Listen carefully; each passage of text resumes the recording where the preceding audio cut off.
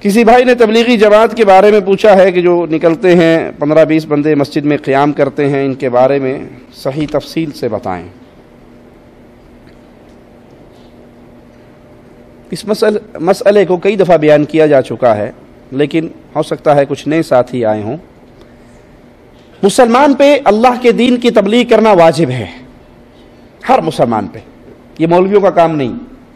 ہر مسلمان پہ جو مسلمان ہے اسے پیارے نبی صلی اللہ علیہ وسلم کا کوئی بیان، کوئی فرمان، کوئی ارشاد، کوئی حدیث ملتی ہے، پہنچتی ہے تو اس پہ لازم ہے کہ اس کو آگے اپنی استطاعت کے مطابق پہنچائے۔ خامن کو پتہ لگا، وہ بیوی کو بتائے۔ باپ کو پتہ لگا، وہ اولاد کو بتائے۔ بھائیوں کو پتہ لگا، وہ اپنے بھائیوں کو بتائیں اپنے گھر کو، اپنے قبیلے کو، اپنی قوم کو، اپنے معاشرے کو، اپنے ماحول کو، اپنی بستی کو۔ اس میں دین کی دعوت دینا، پہنچانا لازم ہے۔ رہا ماجرا کہ کوئی ایک بستی سے اٹھ کے دوسری بستی میں، دوسری بستی والے، پہلی بستی میں مکہ والے مدینہ، مدینے والے مکہ جدے والے طائف طائف والے جدہ، اس کی مثال رسول اللہ صلی اللہ علیہ وسلم کی زندگی سے، صحابہ کرام کی زندگی سے نہیں ملتی۔ آپ نے جس کو بھیجا، اس علاقے میں مستقل رہنے کے لیے بھیجا۔ سیدنا معاذ کو بھیجا، تو یمن کی طرف روانہ کیا، وہاں رہنے کے لیے۔ یہ چلت پھرت جو ہے، ایک شہر کے لوگ ریاض والے مکہ جائیں، مکہ والے ریاض آئیں۔ جو مکہ میں رہ رہے ہیں، وہ مکہ والوں کو تبلیغ کریں۔ جو ریاض میں رہ رہے ہیں، وہ ریاض والوں کو نصیحت کریں۔ پہلی بات۔ اس سے بڑی بات، اس کو سمجھانے کے لیے میں ایک مثال دیتا ہوں، تاکہ بات دل میں اتر جائے۔ ہمارے ہاں ہمارے ملکوں میں، انڈیا، پاکستان میں دودھ ڈور ٹو ڈور دینے آتا ہے نا؟ کیا کہتے ہیں اسے؟ گوالا، دودھی۔ یہ کام اچھا ہے یا برا؟ اس کی محنت کیسی ہے؟ وہ اذانوں سے پہلے نکلتا ہے، کھیت میں جاتا ہے، بھینسوں کا دودھ بھانے پہ جاتا ہے، وہاں سے دودھ دوتا ہے، دودھ اٹھاتا ہے، پھر آدھا کلو اس کو، ایک پاؤ اس کو، کلو اس کو، ڈیڑھ کلو اس کو، وہ بانٹتا ہے۔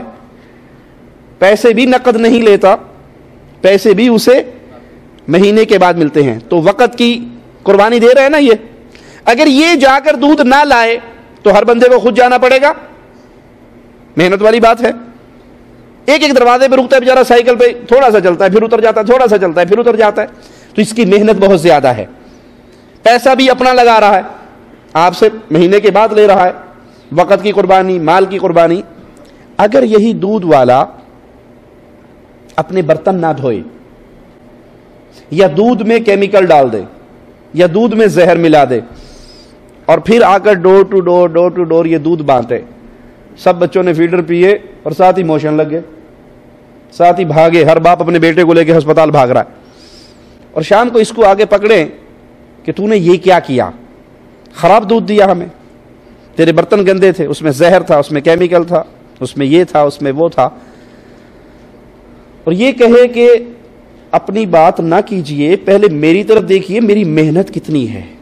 میں آسان سے پہلے نکلتا ہوں۔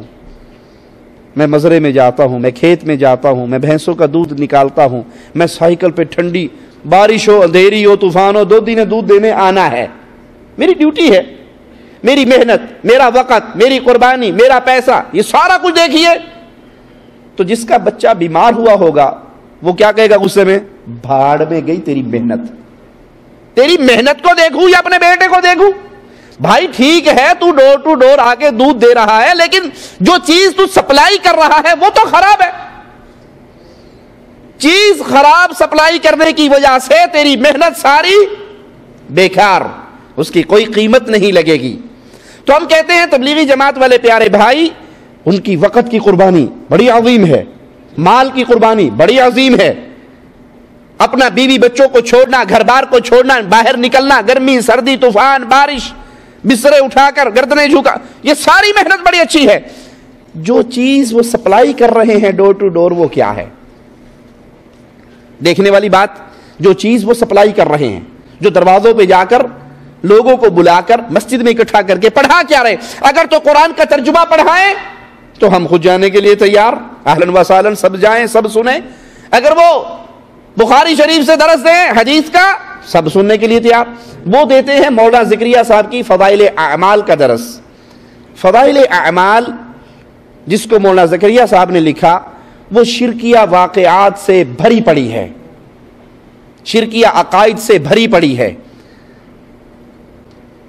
وحدت الوجود کا عقیدہ اس کے اندر موجود ہے۔ غیر اللہ کی، غیر اللہ سے فریاد کرنے کا عقیدہ اس کے اندر موجود ہے۔ صفحہ پانچ سو اٹھاون فضائل صدقات، حصہ دوم کتب خانہ فیضی لاہور کی چھپی ہوئی۔ ہر پریس کی الگ الگ پیج ہوتے ہیں۔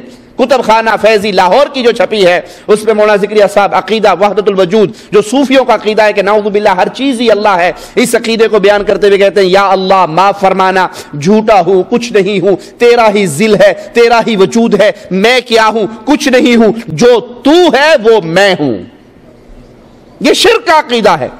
اس عقیدے کے آنے کے بعد اب کوئی یہ کہے کہ ان کی محنت تو دیکھو۔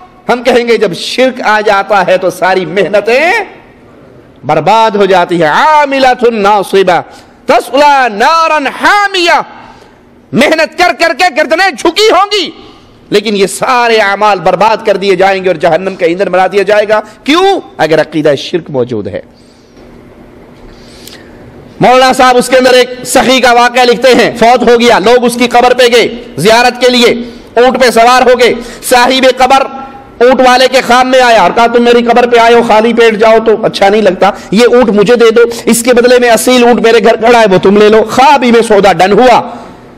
مولانا ذکریہ صاحب کے لفظ ہیں کہ صاحب قبر اٹھا۔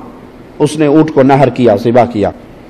قبر سے اٹھا، ذبح کر دیا۔ جب یہ باقی سوئے ہوئے اٹھے تو دیکھا اونٹ کا خون جاری تھا، بچنے کی امید نہیں تھی۔ اس کا گوشت بنایا، کھایا، پیا، واپس جا رہے تھے۔ سامنے سے ایک آدمی آ رہا تھا، کہتا، تمہیں فلاں ابن فلاں کون ہے؟ کہا، میں ہوں۔ کہا، میرے باپ کو کچھ بیچا تھا۔ کہا، خواب کے اندر سودا ہوا تھا۔ کہا، اس کے بدلے میں یہ اصیل اونٹ تو لے لے۔ ایک اور حضرت کا واقعہ لکھتے ہیں کہ وہ لوگوں سے چندہ لے کر فقیروں کی مدد کرتے تھے۔ صاحب خیر تھے۔ ایک فقیر آیا، اس سے مانگا، اس کے پاس کچھ تھا نہیں، وہ لوگوں، زندوں کے پاس، سب کے دروازوں پر گئے، کسی نے کچھ نہیں دیا۔ پھر ایک سخی کی قبر پہ جا کے بیٹھ گئے اور اس کو سارا حال سنا دیا۔ واپس آئے، اپنے پاس سے شرفی آدھی توڑ کے اسے دے دی آدھی پاس رکھ لی، خواب کے اندر قبر والا آیا۔ کہنے لگا، میں نے تیری ساری بات سن لی تھی، مجھے جواب دینے کا امر نہیں تھا، اجازت نہیں تھی کہ میں تجھے جواب دوں۔ سن لی تھی میں نے۔ اب میرے گھر والوں کے پاس جو اسے کو چولہا پھاڑو، چولہے کے نیچے ایک مرتبان دفن ہے، اس میں خزانہ ہے، وہ لے کے اس فقیر کو دے دو۔ مولانا صاحب کے دو لفظوں پہ غور کیجیے۔ صاحب قبر اٹھا، اونٹ ذبح کرنے والے قصے میں۔ اور ادھر کہہ رہے ہیں، قبر والے نے کہا، میں نے تیری بات سن لی تھی۔ جواب دینے کی اجازت نہیں تھی۔ قرآن کہتا ہے، اموات غیر احیاء وما یشعرون ایان یبعثون۔ یہ جو قبر میں دفن ہو گئے، یہ مردے ہیں، یہ زندہ نہیں ہیں۔ انہیں تو یہ بھی شعور نہیں ہے کہ اٹھایا کب جانا ہے۔ تو پیارے بھائی، محنت بہت ہے، کاوش بہت ہے، خدمت بہت ہے، مال کی قربانی، وقت کی قربانی، لیکن اصل بات کیا ہے کہ پیش کیا کر رہے ہو؟ سپلائی کیا کر رہے ہو؟ بشر کی لکھی ہوئی کتاب وہ بھی جو غلطیوں سے بھری پڑی ہے۔